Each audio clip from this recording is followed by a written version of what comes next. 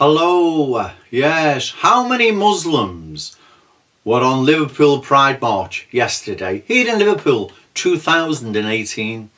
I've been looking at photographs, Liverpool Echo, YouTube, Twitter, internet in general, and I cannot find pictures of large numbers of uh, Muslims that were on yesterday's Pride March here in Liverpool. I can't find any. Can you anyone send any to me? Maybe I've missed them.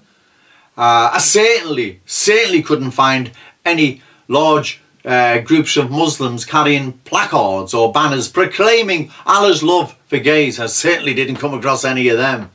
So, you see, the gay community here in Britain needs to smell the coffee and wake up rather sharpish. Trust me, because the more Islamified Britain becomes, the more dangerous it's going to become for gay people, as well as all of us for that matter, all non-Muslims, but in particular, the gay community. And also, the more Islamified various parts of Britain become, gay pride won't be allowed, right? Trust me, it won't. They'll make sure of it, right?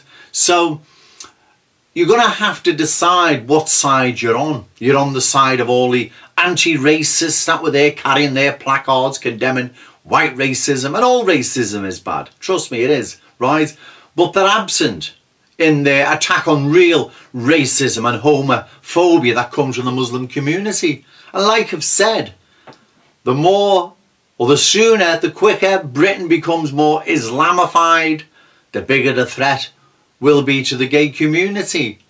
So you're going to have to ask yourselves, what side are you on? You're on the side of the anti-racists with the Muslims against those trying to save Britain from the coming catastrophe if we don't take action now. Because if we don't, we don't stop the Islamification of Britain. The clash of civilizations is on its way. So I ask again, how many Muslims were on Liverpool Pride March yesterday?